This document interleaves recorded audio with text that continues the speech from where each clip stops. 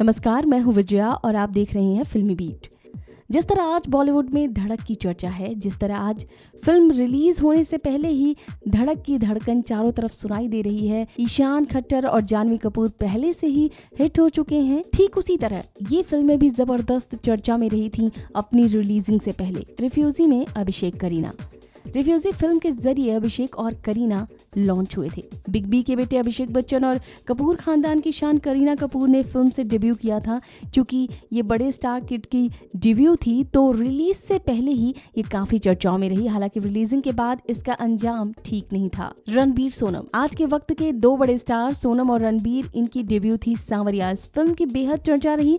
Film release से पहले इस फ़िल्म का चर्चा होना लाजमी है, क्योंकि दो बड़े स्टार किड्स इसके ज़रिए लॉन्च हो रहे थे। साथ ही बड़ा सेट और संजय लीला भंसाली जैसा बड़ा नाम, लेकिन फ़िल्म बॉक्स ऑफ़िस पर फुस साबित हुई। ऋतिक की एंट्री कहो ना प्यार है। एक वक्त था जब फ़िल्म कहो ना प्यार है को लेकर ज़बरदस्त चर्चा थी। फ़िल्म के ज़रिए ऋतिक रोशन बॉलीवुड में लॉन्च हो रहे थे। रिलीज़ से पहले इसके प्रोमोज वगैरह देखकर ही सभी ऋतिक के दीवाने हो गए थे। जबकि आपको बता दें कि इस फ़िल्म को करीना ने मना कर दिया था, जिसके बाद अमीषा पटेल को लिया गया।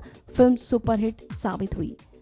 ऋषि डिम्पल बॉबी। 1973 के बिगेस्ट हिट बॉबी को कौन भूल सकता है? डिम्पल कपाड़िया एज अ बॉबी नज़र आई थी और उस वक्त की वो सेंसेशन बन गई थी। फ़िल्म को लेकर दर्शकों में ज़बरदस्त क्रेज दिखा था। ये ऋषि कपूर और डिम्पल कपाड़िया की डेब्यू थी। ऐसे में सबकी निगाहें फ़िल्म की रिलीजिंग पर थी और जब ये फ़िल्म रिलीज़ हुई तो इसने रिकॉर्ड तोड़ दिए। अमृता सिंह, सनी देओल, बेताब। ऋषि कपूर डिम्पल की तरह ही अमृता और सनी देओल नज़र आए थे फ़िल्म बेताब में। ये फ़िल्म भी ज़बरदस्त चर्चा में रही।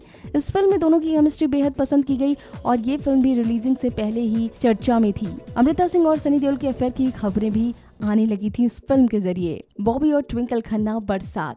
इन दोनों की डेब्यू बरसात की रिलीज़ से पहले ही चर्चा में थी ये फ़िल्म ये फ़िल्म रिलीज़ होने से पहले ही चर्चाओं में इसलिए थी क्योंकि इनमें भी था बड़ा नाम, यानी दो बड़े स्टार किड्स थे और साथ ही इस फ़िल्म के प्रोमोज वगैरह भी काफ़ी अच्छे लग रहे थे। इसमें बॉबी और ट्विंकल की केमिस्ट्री शानदार थी और फ़िल्म रिलीज़ होने के बाद ये ज़बरदस्त हिट साबित हुई। टाइगर श्रॉफ कृति सेनॉन की हीरोपन थी।